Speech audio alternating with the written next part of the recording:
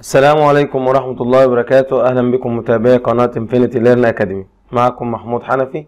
والنهاردة هنتكلم على النظام العشري ولكن لطلاب الصف الخامس.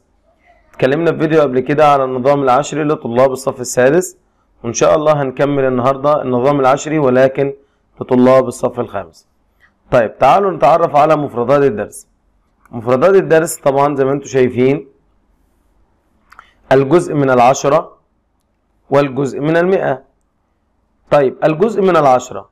يمثل العشر جزءا واحدا من عشر أجزاء واحد على عشرة من أي وحدة كاملة. ويمكن كتابته بالصيغة واحد من عشرة. ده معنى إيه؟ معناه لو أنا معايا مربع وقسمته عشر أجزاء الجزء ده يسمى واحد من عشرة. يعني أنا كأني خدت جزء من عشرة خلينا نظلل الجزء ده بلون تاني. هذا الجزء شايفينه؟ هذا الجزء كده ده واحد من عشرة. لأن أنت لو عديت معايا واحد اتنين تلاتة أربعة خمسة ستة سبعة تمانية تسعة عشرة يبقى أنا جبت الوحدة الكاملة ورحت مقسمها عشر أجزاء يبقى الواحد بس منها يسمى واحد من عشرة يكتب واحد من عشرة بهذا الشكل. اعتبر مثلا إن أنت جبت مثلا كعكة أو كيكة وقسمتها عشر أجزاء الجزء الواحد منها يسمى واحد من عشرة. طيب لو أنا عايز جزء من مئة الجزء من مئة ويمثل جزءا واحدا من مئة جزء يعني بجيب المربع هو نفسه بس المرة دي هقسمه مئة جزء مش عشر أجزاء. وبالتالي الجزء الواحد هيكون هو ده. شايفين الجزء الواحد؟ ده جزء واحد. من كام؟ من مئة جزء. طيب طريقة الكتابة بنكتبه بالشكل ده. واحد من مية لاحظ إن هنا في صفر. يعني هنا في كم عدد؟ رقمين بعد العلامة. الرقم الأول ده يعبر عن الجزء من عشرة وإحنا ما عندنا أجزاء من عشرة. عندنا بس جزء واحد من مئة. فبنكتبها واحد من مئة. طيب وهنا واحد من عشرة. برضو لازم تلاحظ حاجة. الواحد من عشرة لو أنا عايز أعرف هو كام جزء من مئة لازم أظلل ده كله. يعني هتظلل كام مربع؟ واحد اتنين تلاتة أربعة خمسة ستة سبعة تمانية تسعة عشرة. يعني ده معناه إن الواحد من عشرة يكافئ أو يساوي عشر أجزاء من مئة. يعني الواحد من عشرة يكافئ عشر أجزاء من مئة.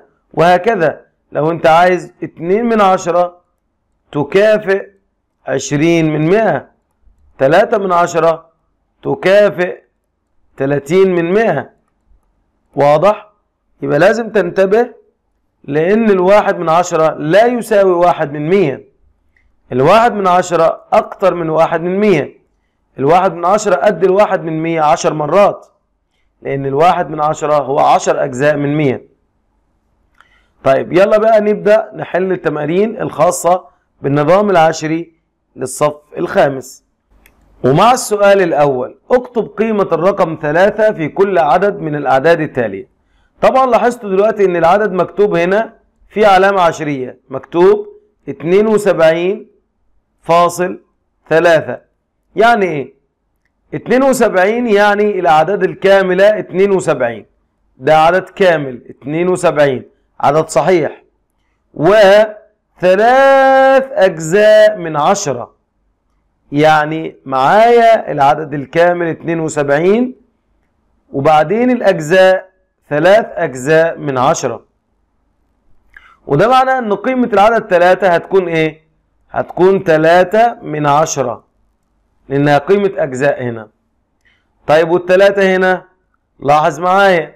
84 ده العدد الكامل. وثلاثة من مئة. يعني نقدر نقول إن الثلاثة هنا قيمتها ثلاثة من مئة. طيب وهنا؟ خمسة وثلاثة وخمسين من مئة. طبعا زي ما أنتم شايفين الخمسة ده عدد كامل في الأحاد. أما الخمسة الأولى هنا دي جزء من عشرة. يعني دي خمسة من عشرة. أما الثلاثة جزء من 100 يعني 3 من 100 وإحنا طبعا عايزين الثلاثة. يبقى قيمة الثلاثة 3 من 100 يبقى أنا دلوقتي معنى كلمة أوجد قيمة الرقم يعني نعرف المنزلة اللي هو فيها وبناء على ذلك بنحدد قيمته. لو كان في منزلة الأجزاء من 10 يبقى قيمته 3 من 10 لو كان في الأجزاء من 100 بيبقى قيمته 3 من 100 السؤال الثاني اكتب هذه الأعداد بالأرقام. هنا طبعا أعطيك الأعداد بالكلمات وأنت بمجرد إن أنت تقرأ وبعدين تكتبها بالأرقام. تعالوا نشوف السؤال ألف. 15 و37 من 100 لاحظ 15 ده عدد كامل. فبنكتب 15 خلينا نغير اللون. ونجيب اللون الأزرق ونكتب 15 طيب و 37 من 100 يعني عندي 37 جزء من 100 يبقى كتبنا الأعداد الكاملة على اليسار والأعداد اللي هي أجزاء من 100 أو من 10 على اليمين. خلي بالك العلامة على يمينها بيكون الأجزاء وعلى يسارها بيكون الأعداد الكاملة. في بعض الطلاب بيغلطوا. يكتبوا مثلا 15 على اليمين وال 37 على اليسار. بنقول لهم انتبهوا إن الأعداد الكاملة بتكون هي اللي على اليسار والأعداد اللي هي الأجزاء من 10 أو الأجزاء من 100 بتكون على اليمين. يعني الفاصلة هنا على اليسار بتكون أعداد كاملة وعلى اليمين بتكون أجزاء.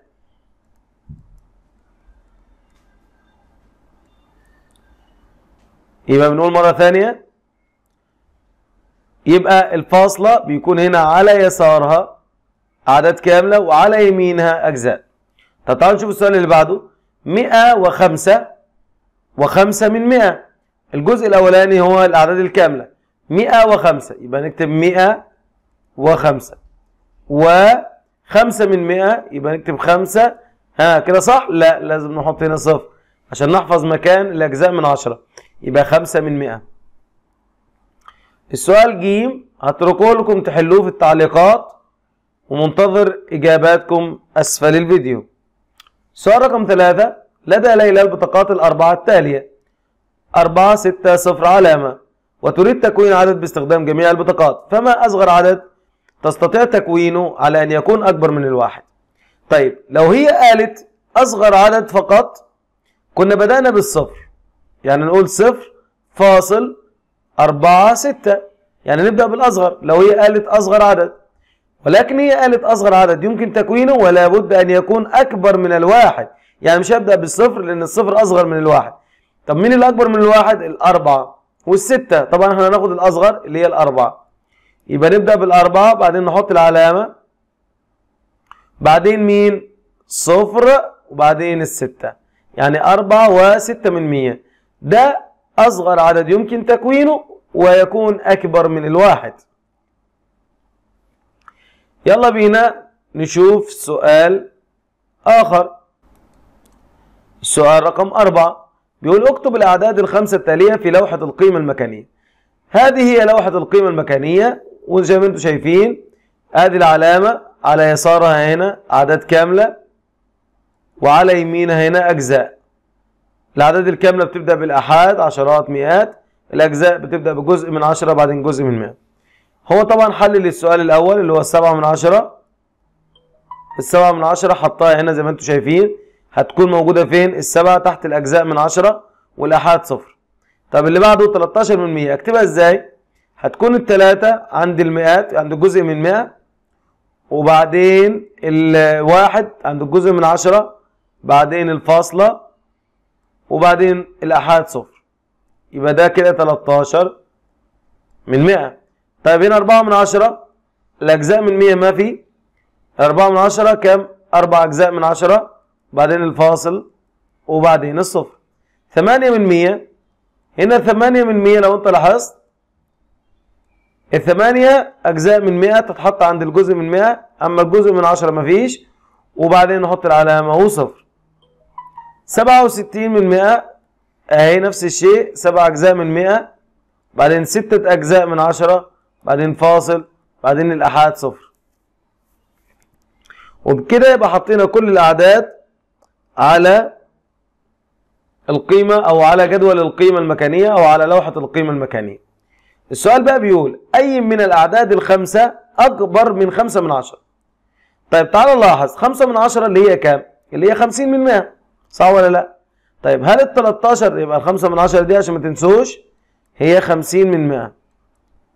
هل ال 13 من 100 أكبر من 50 من 100 طبعا لا. هل الأربعة من عشرة اللي هي 40 من 100 أكبر من 50 من 100 برضه لا. هل الثمانية من 100 أكبر من 50 من 100 أيضا لا. هل ال 67 من 100 أكبر من 50 نعم. يبقى العدد هو 67 من 100 وفي البداية هنا 7 من 10 اللي هي 70 من 100 أكبر من 50 نعم. يبقى برضه السبعة من عشرة. يبقى أنا دلوقتي عندي عددين فقط اللي هم أكبر من خمسة من عشرة اللي هم السبعة من عشرة والسبعة وستين من مئة. وخلي بالكم إن السبعة من عشرة يعني سبعين من مئة والخمسة من عشرة يعني خمسين من مئة. يلا ننتقل إلى باقي الأسئلة. السؤال الخامس. بيقول لي رتب هذه الأسعار حسب قيمتها من الأصغر إلى الأكبر. وأنا برتب لازم أقرأ الأعداد بشكل جيد. هنا 35 ريال هنا 30 ريال فاصل صفر خمسة أو خمسة من مئة. هنا 3 ريال فاصل 50 من 100 هنا 30 ريال فاصل 50 من 100 لاحظ شيء مهم جدا إن أنت لما بتيجي تبدأ ترتب وعايز من الأصغر ننظر إلى الأعداد الكاملة. هتلاحظوا إن الأعداد الكاملة هنا 35 وهنا 30 وهنا 3 وهنا 30 يعني ده معناه إن أصغر حاجة الثلاثة. يبقى دي هتكون رقم واحد. بعدين اتبقى عندي 30 و30 ولكن هذه 30 و5 من 100 وهذه 30 و50 من 100 يبقى ده معناه إن 30 و5 من 100 هي الأصغر. يبقى دي رقم 2 وبعدين 30 و50 من 100 دي رقم إيه؟ 3 وبعدين آخر حاجة 35 ريال دي رقم 4 أكبر شيء. لاحظوا إن الأعداد اللي هي فيها مبالغ مالية ريالات الأفضل إن إحنا نكتب بعد العلامة ثلاث أرقام. يعني هذه 50 من 100 نضيف لها صفر تكون 500 من 1000 أو 500 بيسة. هنا نفس الشيء نضيف لها صفر برضو تكون 500 بيسة. هنا نضيف لها صفر هتكون 50 بيسة. وده بنعمله مع العملات وخصوصا الريال لأن الريال مقسم إلى 1000 بيسة. يعني ثلاث أرقام بعد العلامة العشرية عشان نقدر نجيب البيسات. السؤال السادس انظر إلى خطي الأعداد التاليين ما العدد الناقص في كل مربع؟ طبعا خط الأعداد ده زي ما أنتم شايفين في أعداد هنا 3 4 5 دي أعداد كاملة. طيب وشايفين هنا في شرط صغيرة.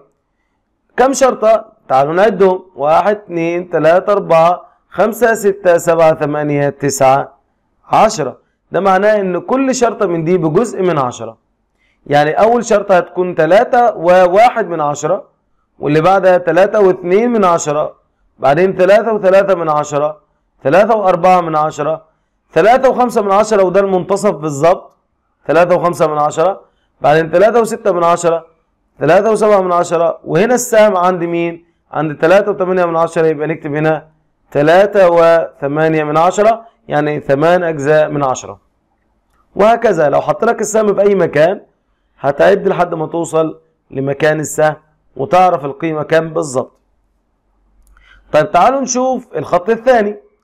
هنا عاطيني 8 بعدين 8.2 يعني جزئين من 10 طبعا فينا علامة أكيد هتكون 8 فاصل واحد جزء واحد من 10 يبقى هو بيزود برضو نفس الشيء جزء واحد من 10 8 8.1 8.2 أكيد هنا هتكون 8.3 وبعدين 8.4 طب لو حبينا نرجع لورا مين اللي قبل الثمانية مباشرة؟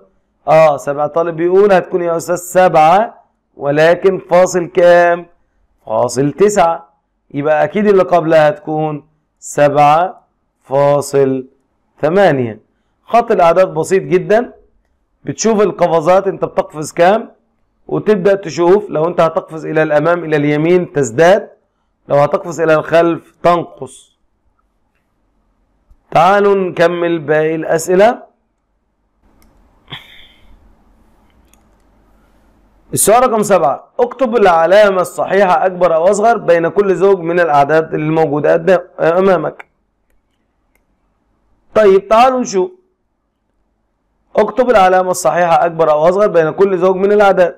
أول شيء 3.4 من عشرة و3 فاصل آه و4 من 100 طيب 4 من 10 يعني إيه؟ آه فعلا 40 من 100 يعني 3.40 من 100 وهنا 3.4 من 100 طبعا أنا سامع طالب بيقول يا أستاذ ال 40 من 100 أكبر من 4 من 100 يبقى نحط علامة الأكبر. وعلامة الأكبر بتاكل العدد الكبير يعني وجهها بيكون باتجاه العدد الكبير. هنا برضو 4.5 نحط لها صفر. تكون 4.50 من 100 وهنا 4.55 يعني هتكون أصغر. يعني العلامة يكون وجهها باتجاه الأكبر. هنا 3.83 من 100 وهنا 3.38 من 100 طبعا ال 83 من 100 أكبر من ال 38 وانتبه للأرقام عشان الأرقام متشابهات فممكن تخدعك. هنا 83 هنا 38 برضو هنا نحط صفر يبقى 1.14 من 100 وهنا 1.20 طبعا أكيد ال 14 جزء من 100 أقل من 20 لأن الأعداد الكاملة متساوية. فنقارن الأجزاء ويكون ال 14 أقل من ال 20 سؤال رقم 8 قرب هذه الأعداد لأقرب عدد صحيح.